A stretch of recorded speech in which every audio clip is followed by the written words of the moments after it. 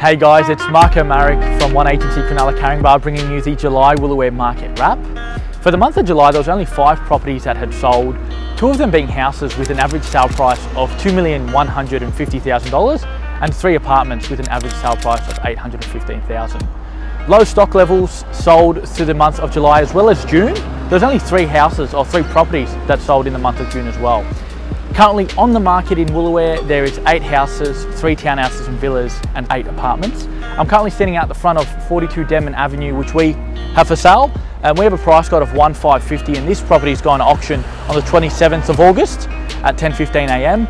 Price guide of 1,550, um, a fantastic four bedroom home with a north facing views off the upstairs living area to the city.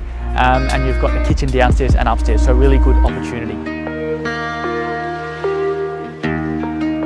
You would have seen in the last wrap we had this property for sale, the apartment at 11 of 54 Woolooware Road. We've just sold this one for 695,000, a block record here for the two bedroom apartment.